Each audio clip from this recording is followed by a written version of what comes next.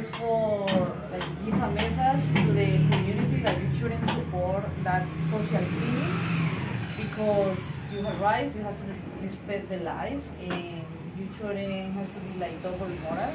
Like oh, you can kill that, but this not because it's my son. Yeah, that is the main idea to have here. Entonces, y un paralelo entre el estallido social y la operación Navidad Limpia con el tribunal.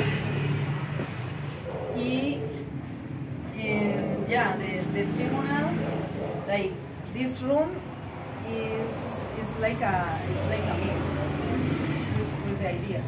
Because the story kind of repeats with the guerrilla, guerrilla M19 with the with the protest, with the protest, what happened with the protest, and with that because the people support like the cleaning, the social cleaning, and during the protest they call um, the people that was in the protest like vandalos, which is like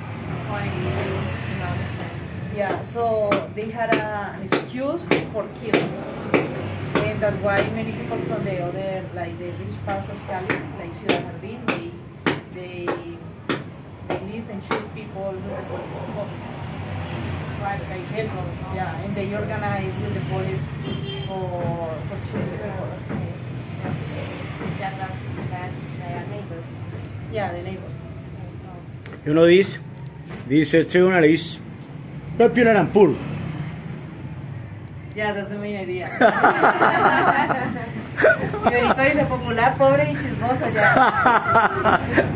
popular and poor. Yeah, the main idea is from the tribunal is start like with the families Eh, and poor because this has to be popular.